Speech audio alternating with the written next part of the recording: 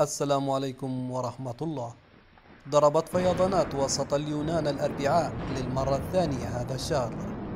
قبل البداية أدعوكم للاشتراك في القناة والإعجاب للفيديو ليصلكم كل جديد. ضربت فيضانات وسط اليونان الأربعاء للمرة الثانية هذا الشهر وطالت خصوصا مدينة فولوس بعد عاصفة سابقة أسفرت عن مقتل 17 شخصا وتسببت بأضرار واسعة النطاق.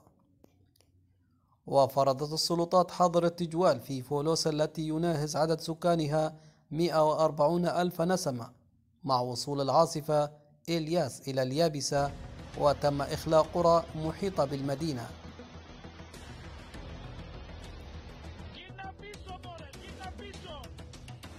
كما وتسببت العاصفة وهي الثانية التي تضرب البلاد خلال ثلاثة أسابيع في فيضانات بجزيرة يوبو قرب أثينا.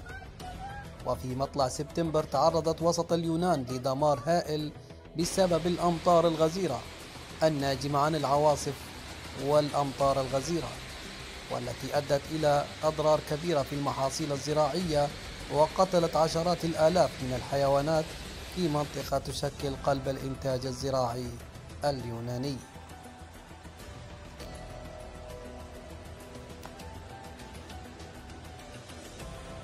إلى هنا أحبتي لا يسعني إلا أن أذكركم بالاشتراك في القناة والإعجاب للفيديو ليصلكم كل جديد.